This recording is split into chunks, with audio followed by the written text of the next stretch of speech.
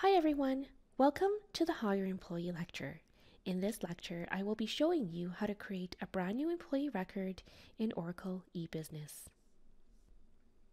Okay, so to hire an employee, you must first have access to the Enter and Maintain menu under the HR responsibility. Before beginning the hire process, we will need to ensure the system is date tracked to the correct date. Date tracking is important throughout many HR processes and especially important for new employee hires. And since we are hiring a brand new employee, the date we will need to be date tracked to would naturally be the employee's hire date with the organization. So, to date track, select the calendar icon from the top toolbar and enter the date you want to date track to into the effective date and select OK. I'm a little behind in my data entry for the pay period as per usual, so I need to date track back to February 7th for my new hire.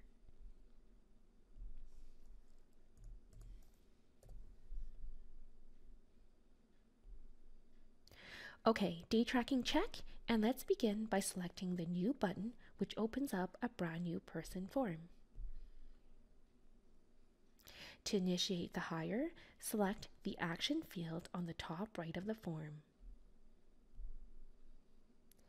In this case, we are hiring an employee and therefore we will need to select the Create Employment action.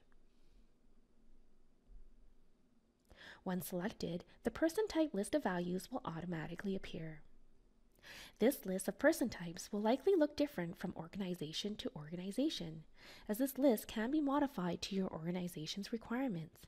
The employee person type is pretty much consistently used across different organizations. However, if it is not available to you, please select the appropriate employee equivalent person type in your organization.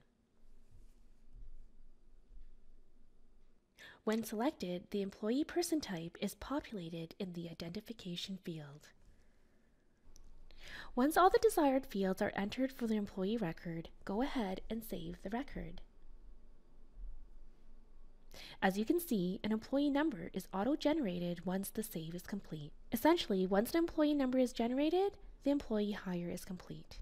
Now you will notice that I did not go over any of the fields on the person form, and that is because an overview of each field is provided under the Introduction to Person Form lecture.